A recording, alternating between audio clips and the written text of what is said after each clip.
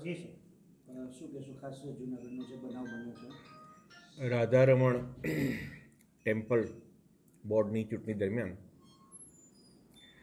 મીડિયાના મિત્રો કવર કરવા માટે આવેલા. તે સમયે પોલીસના બંદોબસ્ત દરમિયાન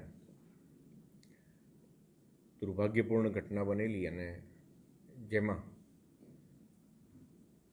જે સીસીટીવી ફૂટે વીડિયો ફૂટેજ વગેરે જોતા પોલીસ દ્વારા બળપ્રયોગ કરવામાં આવેલો.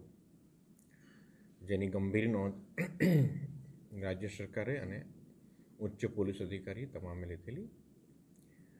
અને જે તે સમયે જ કહેલું કે ભાઈ આ અંગે પોલીસના આવા પ્રકારના એક્શનને કે આવા પ્રકારની કાર્યવાહીને કોઈપણ રીતે સ્વીકારી શકાય નહીં, ચલાવી શકાય નહીં.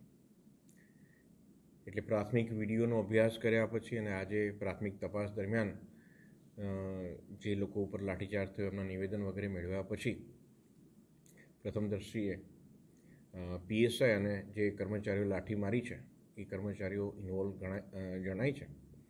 તો તેઓ વિરુદ્ધમાં એએસપી રવિ તેજા દ્વારા પ્રાથમિક તપાસ ચાલી રહી છે. અને એસપીએ અત્યારે એની પ્રાથમિક તપાસના રિપોર્ટના આધારે અમારી ઉચ્ચ અધિકારીની સૂચનાથી એને ફરજ મોકૂફ કરવાનો નિર્ણય લીધેલો છે અને તાત્કાલિક જલ્દીમાં જલ્દી આ કાર્યવાહી કાગળની હાલ ચાલુમાં જ એ પૂર્ણ થશે. આ એક દુઃખદ બનાવ હતો. પોલીસ અને મીડિયા એ સમાજને બે મહત્ત્વના અંગ છે. મીડિયા સમાજને સત્ય હકીકત જણાવે છે. પોલીસ સમાજનું રક્ષણ કરે છે. આ બંને વિભાગો એકમેકના અભિન્ન અંગ છે. સમગ્ર રાજ્યમાં કદાચ મેં જ્યાં નોકરી કરી ત્યાં તમામ પત્રકાર મિત્રો મારા મિત્રો છે.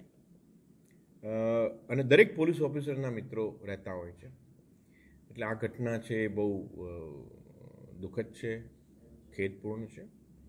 અને હું આશા રાખું છું કે મીડિયાના હૃદયમાં પણ આ બાબતમાં કોઈ રંજ નહીં રહે.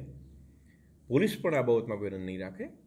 અને ફરી પાછું સુમેળભર્યું સુચારુ સંબંધોની એક પરંપરા ચાલુ રહેશે. Thank you okay